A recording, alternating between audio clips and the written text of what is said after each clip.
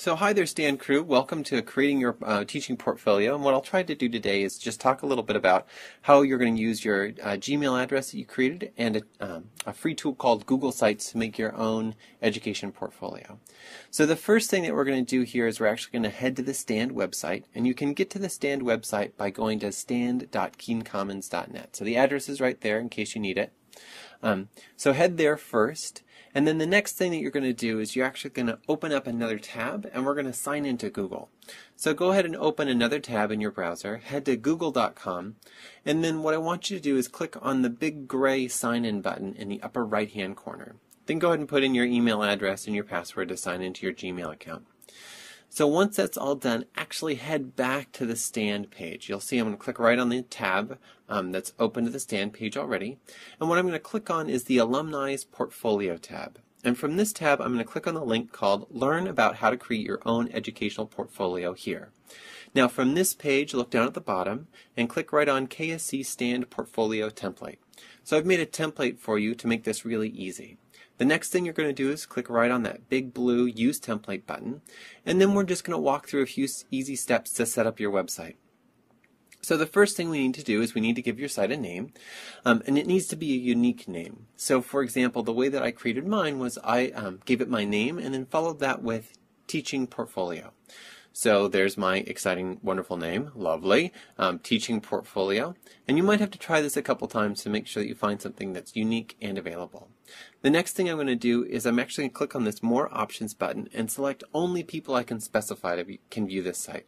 And this is just to make sure that not everyone in the world can take a look at my portfolio while I'm building it. Then I'm going to fill out the little CAPTCHA here at the bottom to prove to Google that I am in fact human. Um, and then the next step is to click the big red create button at, at the top of the page.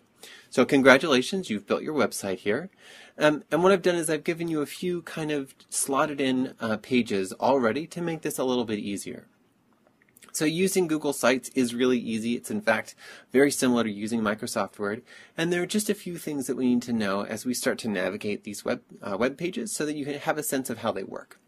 So the first really important thing to know about is there's a big kind of pencil icon in the upper right hand corner of your screen, and this is the edit button. When you click the edit button, it allows you to edit the content of your page.